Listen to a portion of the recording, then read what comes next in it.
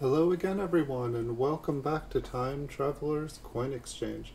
The next coin that we're going to take a look at is a 1893 Indian head cent. This one is a business strike coin from the Philadelphia Mint.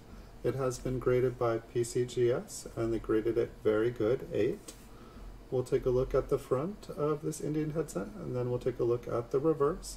This one's going to go up for sale on eBay. You can find a link in the description below the video. It'll take you to this exact coin on my eBay store. Time Traveler's Coin Exchange currently has over 3,400 PCGS graded coins for sale. And if you guys uh, do take a look, uh, we have 1 in 36 of every PCGS graded US coin currently for sale on eBay Marketplace.